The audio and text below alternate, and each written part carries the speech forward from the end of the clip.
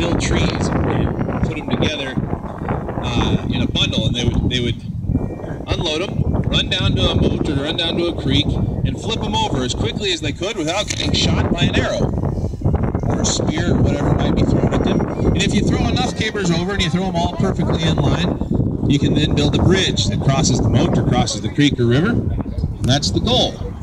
At least that's the way the story I'm going to tell goes. Steve Peterson on the qualifying or on the scoring caber. Here we go. It's a little bit heavier.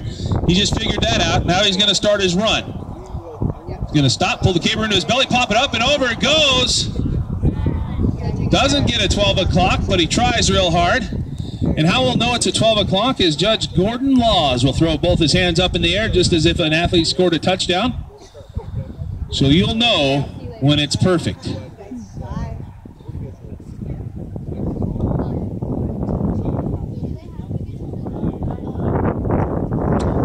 Right. Millie's ready to go.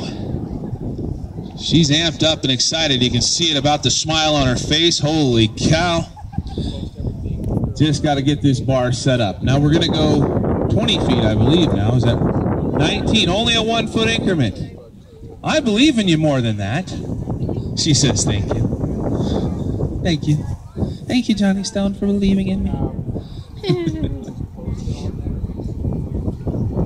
All right.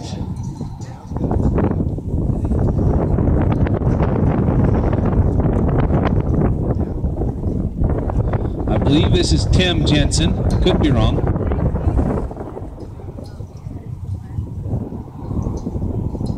It's a little heavier, but he gets it to go up and over. And it's not quite at 12 o'clock. It's going to be on the other side, I think.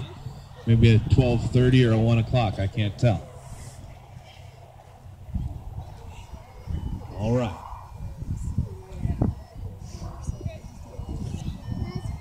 These are down on the hammer, heavy hammer.